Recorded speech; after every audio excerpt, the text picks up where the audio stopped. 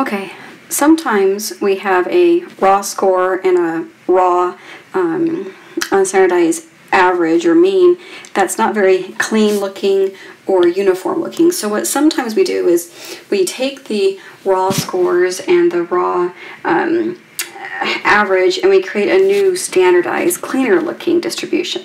So in this example, we're going to say that Professor X wants to um, take the old scores. So he had, he took a, um, a quiz and the old scores, right, had an average of 57 with a standard deviation of 14. And he says those, those numbers are kind of crazy and different, we're going to standardize them. So he's going to give new scores, right? So the new standardized score, he says, I want the average to be around 50 and I want standard deviation to be a clean 10.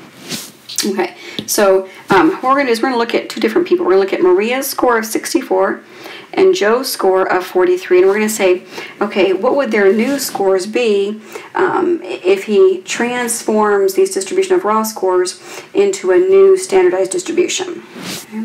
So again, you remember that the Z formula right here right, is um, x minus mu divided by standard deviation.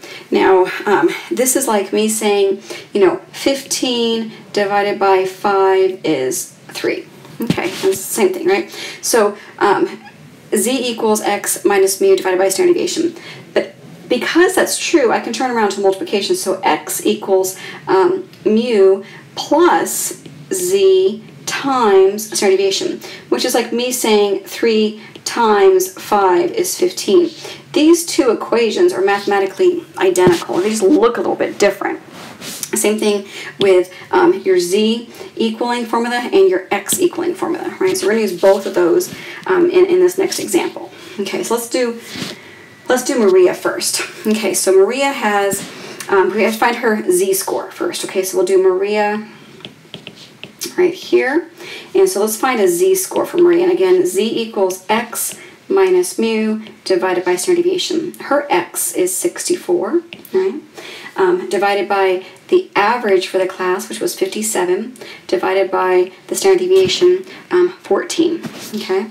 So we have um, 7, right, divided by um, 14. Uh, so we have her z-score being um, positive 0.5, um, five. right? Okay, let's do um, Joe's now. So we have Joe's um, raw score, right? So let's find his z-score. His um, raw score was what? Uh, 43. Okay, so 43 minus 57, and, and so things should go on your brain right there like, oh, we're going to have a negative number happen here, and that's fine, divided by, again, that 14 standard deviation. So his z, right, um, what is it, uh, negative 14, right, divided by 14. So his z-score is negative 1.00, which is fine. Um, in a distribution, he would just be on the left-hand side of the mean, and she would be on more the right-hand side of the mean. So these are their old scores, right? The old traditional ones. So now let's do it where um, we're doing the new standardized one. So again, now we're going to use, we'll do Maria first again, right? So we have, um, now we're going to use this formula, right? So x equals mu plus z times standard deviation, okay? Because we're trying to find out her new um, score, and again, x is um, denoted for score, right?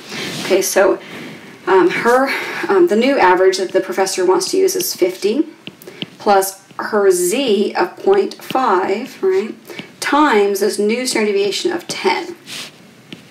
Okay, so we go 50 plus, in this case, 5, right, 0.5 times 10. So Maria's new score, and this new standardized distribution, is 55. So let's do um, Joe's now. Again, we're going to use this new modified um, x formula, right? So mu um, plus z times standard deviation. Okay, so we have, um, what's his one? So again, 50 is this new um, average the professor wants to use, plus, now he had a negative number, negative 1 times 10, right? So we would go 50 plus negative 10, right?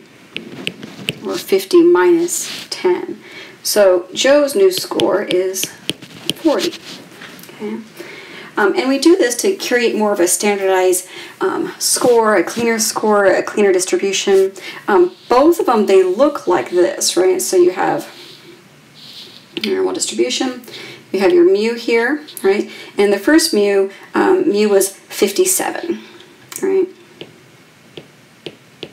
And Maria's score was over here because she got a score of, of 64, right? So 64. And the first one, standard deviation, was um, 14, right? So um, 71. So she was not quite one standard deviation above the mean. And Joe was over here in the um, 40s, right? So 43. Same thing for the new distribution, right? Um, the chain, the the doesn't the look of it doesn't change, right? She's still above um, average, right? And he's still below average. It just gives an overall cleaner look to things. Um, 50 is a better average to say than 57, and 10 is an easier number to say than, than 14. So this is how you create standardized scores, or, yeah, new standardized scores um, created with a new distribution.